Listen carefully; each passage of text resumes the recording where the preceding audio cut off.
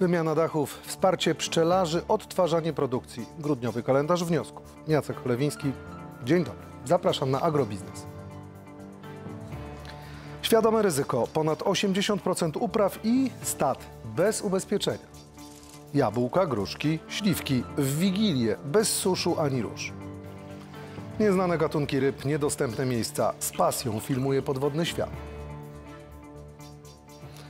Wnioski są przyjmowane od kilku dni, a już wpłynęło ponad 6,5 tysiąca zgłoszeń. Dofinansowanie do wymiany azbestowych dachów to ważna i potrzebna pomoc. Trwa także przyjmowanie dokumentów o dotacje dla pszczelarzy oraz na odtwarzanie potencjału produkcji rolnej.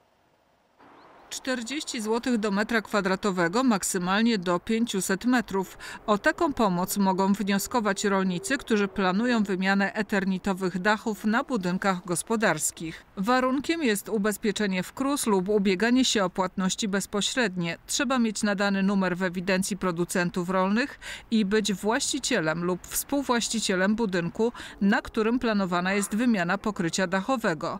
Nie ma natomiast znaczenia, czy gospodarstwo leży na terenach wiejskich czy miejskich.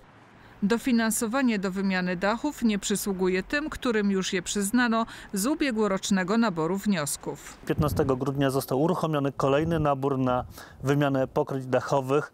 Zachęcamy do kontaktów z ośrodkami doradztwa rolniczego celem em, zgromadzenia niezbędnej dokumentacji i złożenia wniosku o wsparcie w tym zakresie. Dokumenty o dofinansowanie wymiany dachów można dostarczać tylko za pośrednictwem platformy usług elektronicznych ARIMR.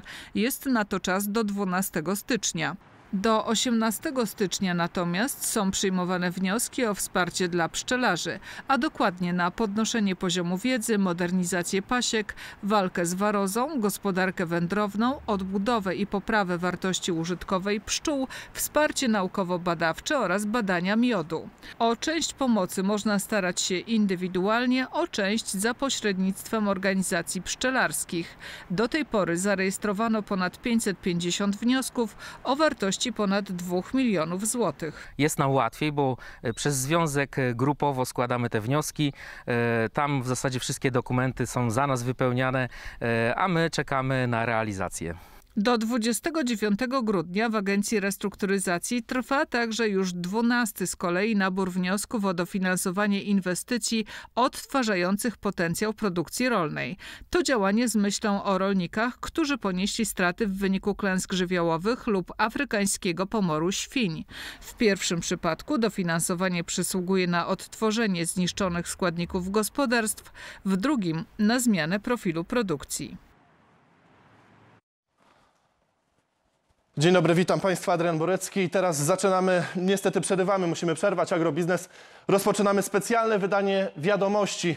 Wiadomości, które będą nadawać do samego końca. Dokładnie o godzinie 11.18. Z niewiadomych nam przyczyn został wyłączony sygnał TVP Info. Wiadomości miały rozpocząć się również punktualnie o godzinie 12.